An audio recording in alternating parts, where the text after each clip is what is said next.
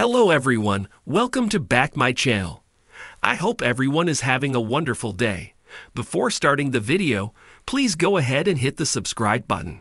Farrah might have become a parent a long time ago, but she hasn't exactly matured. She isn't exactly the gold standard of parenting. Teen mom fans have often criticized her for her super lenient parenting style. The star had posted about her daughter's new piercings that the teen got for her birthday. Fans criticized Farrah for allowing her daughter to go through it at such a young age. But now, the star is finally breaking her silence. She has revealed the reason she allows her 15 year old daughter to have piercings and dress in a risque manner. When fans first saw her, Farrah had a completely different look, but she has undergone immense change since then. The teen mom star had many cosmetic surgeries and finally has her ideal body. Her daughter also has the same penchant for altering her appearance. 15 year old Sophia has many facial and body piercings and prefers risque gothic outfits. The fans always wondered how Farrah allowed her daughter such freedom. So, the star is finally answering the question. She revealed on Bunnie XO's Dumb Blonde podcast that she is okay with her daughter's style. Farrah doesn't want to reject her daughter.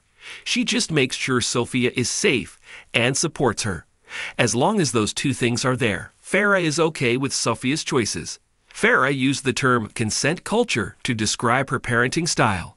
She revealed that her parents raised her in a different way than she is raising her daughter. This is why she wants to allow Sophia to have the will, the rights and freedoms. According to Farrah, all these apply to things like piercings or tattoos as well. Her own mom did not allow her the freedom to alter her appearance. But Farrah wants to set up a safe space for the next generation. The teen mom star doesn't want her daughter to be vulnerable and is trying to build Sophia's self esteem. While Farrah allows Sophia to have her piercings, it also helps that she loves her daughter's gothic style. She is happy with whatever Sophia decides and loves. The star wants her daughter to have the freedom she never had. Farrah tried so hard, but it didn't seem like she made a difference. In Bunnie XO's Dumb Blonde podcast's upcoming episode sneak peek, the teen mom star explained her reasoning.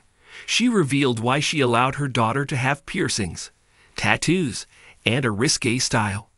Bunnie agreed with Farrah's reason, saying kids should be free to decide. But the fans didn't think the same. They took to the comments to express their disagreement.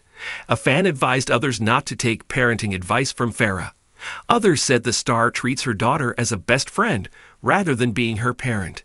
Many fans don't support Farrah's views. Some believe she needs to be more vigilant with her daughter.